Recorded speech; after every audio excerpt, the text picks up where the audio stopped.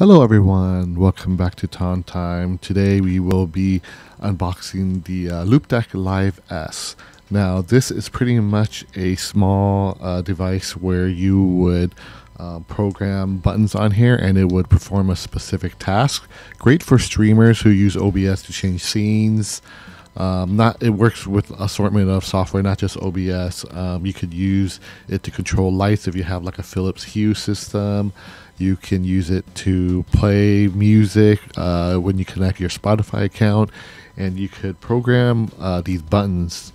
Um, I have a Loupedeck Live here, so this is the bigger brother version. Uh, same looking device, but less knob and less buttons on here. And pretty much as you can see here, I have uh, specific scenes on my um, OBS that I could just switch uh, at a whim. As you can see here, like I can switch to my main monitor here and I could switch back uh, here with a touch of button. Great for streamers, uh, but you could use it for a bunch of other things. I'll go through the software real quick, but I already did a video of this one. If you want to check it out, um, just go uh, search on my YouTube channel and you will see a more in-depth review of this uh, live unit with the software. So this is the Loupedeck Live S. So let's go ahead and unbox it. Like I said, it's a smaller version of it. And the funny thing is, like, um, I'll um, when you go to the um, website, um, you can't even buy it yet. Uh, as you, you see on the top here, it says Loupedeck Live S is coming soon. So I guess they're filling orders first for the people who did the early Kickstarter. And then after that, um, they'll release it. So you can't even buy it yet, but I think it will be soon um, on their website. But the live version is 269 but the S is going to be a little bit cheaper. So let's go ahead and take a look um, back. Let's go ahead and unbox it. So this it's a relatively smaller box as you can see. I think this is just like a shipping box. Um, I think there's a retail boxing underneath. So I haven't opened it up yet. So let's check it out. Yep, I remember it was like that for the live so this is the Live S smaller version of it. So this box is nothing. I'll toss that there. So this is the retail packaging. So nice little retail box. Black says Loupedeck Live on the sides. You know, um, got the UPC there. Loupedeck Live. Let's open it up. And as you can see, here is the smaller version. So you still got the uh, 12 touchscreen here. One, two, three. Oh, actually more. I'm sorry. One, two, three, four, five times three is 15. Um, you got 15 buttons here actually, while the other one has 12. So let's go ahead and look at the differences first. Before you know what, let me um, finish the unboxing, then we'll go through the difference. And let's see underneath here, you've got so you got USB-C cable, relatively long one. It's 90 degree here. Pretty long cable. And then you got a USB-C here, but there's an adapter here that they included if you need to use USB-A, which is good. I like that. You got the quick setup guide where you download the software and what you need to do first.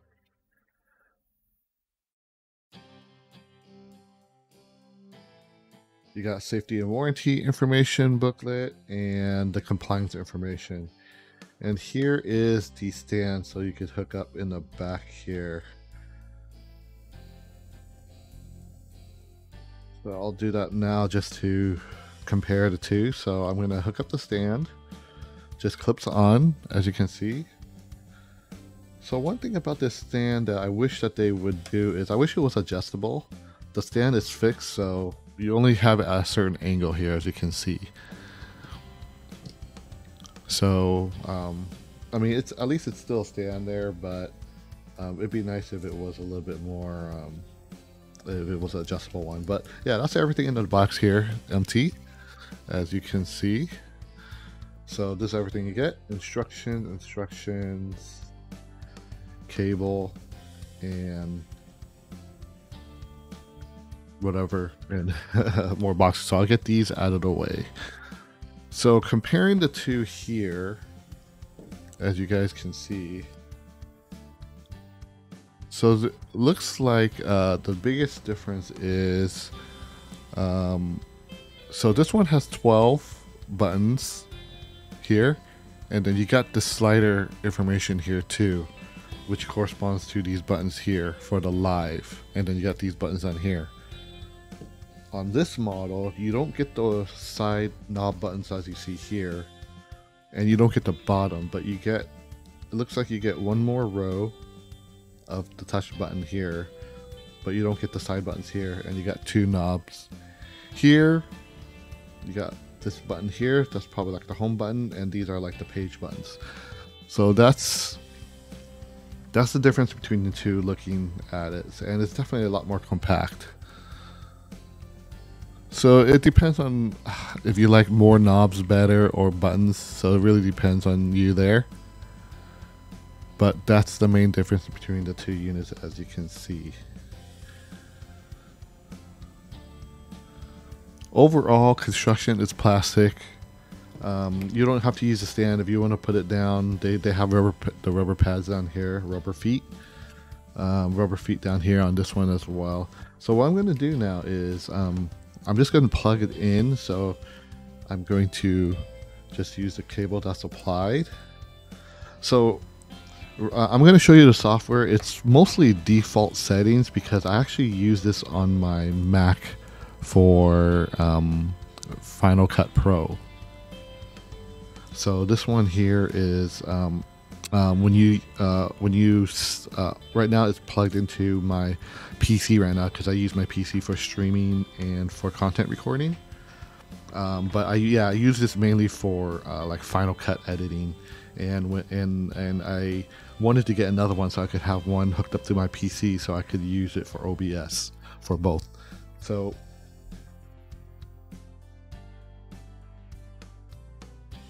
okay, I'm gonna plug it in right now.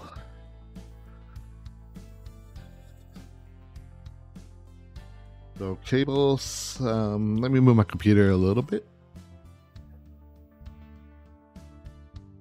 So the cable isn't in the way. Okay, so once plugging in, I already have the software installed because I already am using this. So once you plug in, um, it's already got default profile set up. So what I'm going to do now is I'm going to take the live away here because we're not doing a review on this. Like I said, I have another video on this if you want to check it out. So we're just going to check out the Live S. And I'm going to um, get it set up here so that you guys can see here as I use the software how it looks. So I'm going to um, change scenes here. And this is the scene. So this is what it looks like here guys. And I could probably route this cable a little bit better but uh, it's fine. You know what? Let me unplug it first. Underneath so.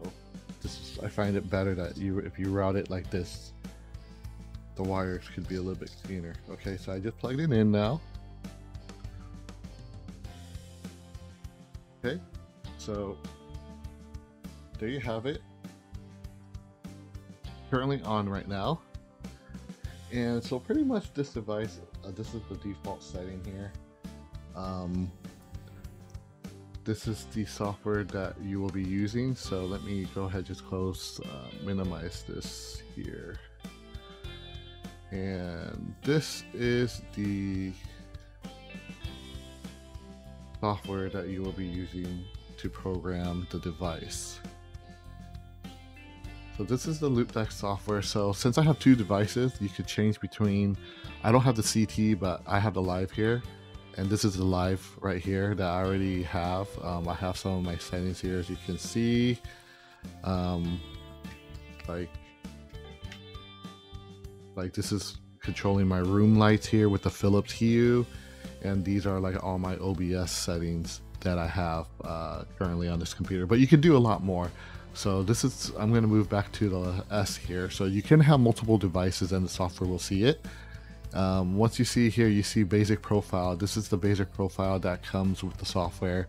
And as you can see here, you, it says uh, you have the profile, which you can create your own profile. So if you have multiple users or different profiles, you can create. Uh, dynamic mode on means if you have certain software that this this unit is compatible with, when you launch the software, it will automatically switch the soft uh, the buttons on here are based off the software. So, um, like I said, I, I use this for my MacBook. I don't have any setup to show you, but that's what dynamic mode is. So, say if you launch Adobe um, Illustrator and you have presets for Illustrator already, it will just automatically pop up on there without you needing to do anything, which is cool. So, I use that a lot uh, um, on my Mac OS uh, when I'm using Final Cut Pro and other uh, uh software like Logic Pro as well. Uh, workspace is if you want to use um, if you have a specific workspace on the screen that you want to put on there um, you can you can have multiple workspaces under a profile which makes things cleaner. Um, if you have if you use multiple software and have a workspace for each one. And pretty much here this is all the stuff that comes with here. So you got um, you got the shortcuts here you could create shortcuts. You could create open applications on certain buttons, web pages, sounds, text. You could set macros. You could do multi-toggle um, or dial adjustments. So you could do a lot with this device. Um, like if you want to open a specific web page, you could just um, say if you want to open msn.com, uh, dot com, right? And the web page is msn.com. Hit save. It will save the, uh, the function down here, and you just drag it over. And if you notice on the lower left corner here, you see it. And once you hit the button, it will load msn.com. So that's how cool it is. And it's not just web pages. You could pretty much do that for um, application shortcuts, sound, text, or macros like you see here. So pretty cool. You could um, customize this. It's not just for streaming. You could use it for um, shortcuts or even uh, workflow. Um, have, they have built-in OS functions here. So if you want to say you want to go to your control panel and um, you want to use a um, I don't know you want to use your numeric pad here you could click there and as you can see on the lower left hand corner the numeric pad popped up and you could just click it on here and there's a numeric pad. So that one's exit there. So yeah so you can do um, all these custom ones that's already uh, put you could do control your volume date and time. There's a lot of uh, um, things that Loupedeck already loaded up in here for OS you could do media, play, next track, device navigation, keyboards. You could program keyboard uh, keys on this thing as well. Keyboard modifiers, media. You can even use your mouse to do clicks if you want. Click left, you could drag over here, and then you have a button to click left. Yeah, so they did they, they thought about this um, pretty well. And yeah, so you could definitely you have you could have multiple pages as you can see here, and you could add some more as you can see here. You you also got Loupedeck device actions. You got here's the workspaces. If you make touch pages, dial pages, you could put it on here too. You've got OBS integration on here for your scenes or even Streamlabs integration. Um, you could Twitch is on here as well and Spotify and there's other stuff you can get from the marketplace here too. Um, they're constantly added, adding new things onto um, this software.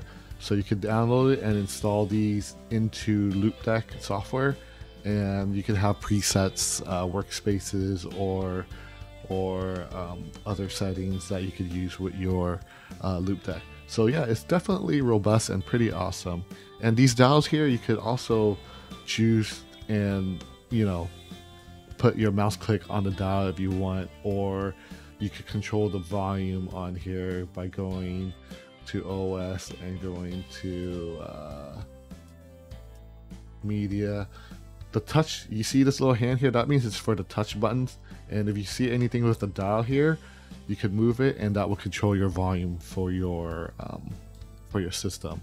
And if you could click here, you could do not just not it's not just a volume um, changer. You could also click down on it and have have uh, have it do specific things. So you could use the volume as a knob and push down as a click.